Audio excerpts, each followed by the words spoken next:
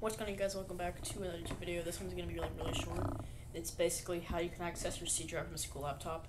So if I actually go to my File Explorer here, and you go to this PC, if you were on a school laptop, I'm not on one right now because I don't have like a recording software for it, but you would only be able to see a D drive, which is like where you can have like your downloads folder on your school laptop.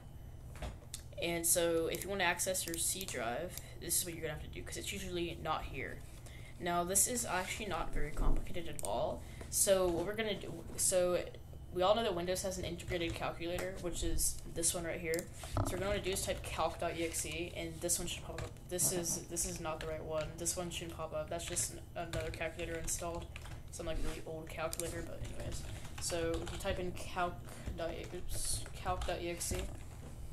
can actually open the file location and since, it is installed in the Windows, if we actually go back here, you'll see that we have the local disk right here. So you can actually modify Windows files, but if you want to get trouble, don't do this, but probably won't find out. Like, my school doesn't like let you change your wallpaper, put things in the desktop. With access to the C drive, you'll be able to do just so.